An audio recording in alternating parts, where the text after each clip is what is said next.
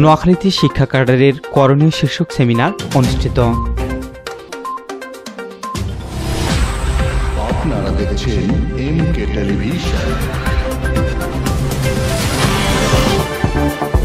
আসসালামু আলাইকুম। এমকে টেলিভিশনের নিয়মিত সংবাদে আপনাদের স্বাগত জানাচ্ছি আমি এস রহমান। এখন দেখবেন বিস্তারিত। এসডিজি চার এবং জাতীয় শিক্ষানীতির আলোকে সরকারের নির্বাচনী ইশতেহার বর্ণিত অভিষ্ট ও লক্ষ্যমাত্রা অর্জনের জন্য শুক্রবার বিকেলে নোয়াখালীতে শিক্ষা কার্ডের করণীয় শীর্ষক সেমিনার অনুষ্ঠিত হয়েছে। নোয়াখালী সরকারি কলেজের অধ্যক্ষ প্রফেসর আল হেলাল মোহাম্মদ মোশারফ হোসেনের সভাপতিত্বে প্রধান অতিথি হিসেবে বক্তব্য রাখেন মাধ্যমিক ও উচ্চশিক্ষা অধিদপ্তরের কলেজ ও প্রশাসন বিভাগের পরিচালক প্রফেসর মোহাম্মদ শাহিদুল কবির চৌধুরী। অন্যান্যদের মধ্যে পরিচালক প্রফেসর রিয়াজুল ইসলাম খান, পরিচালক প্রফেসর শমসের চৌধুরী বিএস সাধারণ শিক্ষা সমিতির কেন্দ্রীয় যুগ্ম মহাসচিব ড. মোহাম্মদ লোকমান ভুইয়া, কেন্দ্রীয় বিএসসি সাধারণ শিক্ষা সমিতির নির্বাহী সদস্য মোহাম্মদ হুমায়ুন কবির ও বিএসসি সাধারণ শিক্ষা সমিতির ফেরি শাখার সাধারণ সম্পাদক অধ্যাপক শামীম আক্তার সহ আরও অনেকে।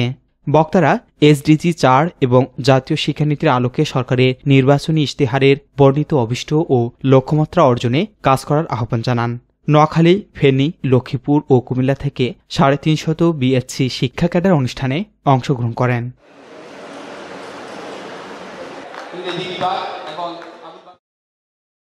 দর্শক, এমকে টেলিভিশন সংবাদের বিস্তারিত জানতে ভিজিট করুন www.mkTelevision.net এই ঠিকানায়। এছাড়াও, সংবাদ ও অনুষ্ঠানের সব ভিডিও পেতে সাবস্ক্রাইব করুন YouTube dot com slash MK television dot net এবং Facebook dot com slash MK television page শেষ করছি এমকে টেলিভিশনের সংবাদ।